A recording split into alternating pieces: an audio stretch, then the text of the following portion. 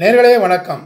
நாம் இப்போது எடுத்துக்கொண்ட ஒரு தலைப்பு ஏழில் சனி பகவான் இருந்தால் என்ன பலன் என்ற தலைப்பின் அடிப்படையிலே நாம் இப்போது தெரிந்து கொள்ளலாம். அதாவது இந்த சனீஸ்வர பகவான் ஜாதகத்தில் ஏழாம் இடத்தில் இருந்தால் அவர் அந்த ஜாதகருக்கு எப்படியாப்பட்ட பலன்களை கொடுப்பார் என்று சொன்னால் சனி பகவான் ஒரு மந்தமான மெதுவாக நகரும் கிரகமாகும்.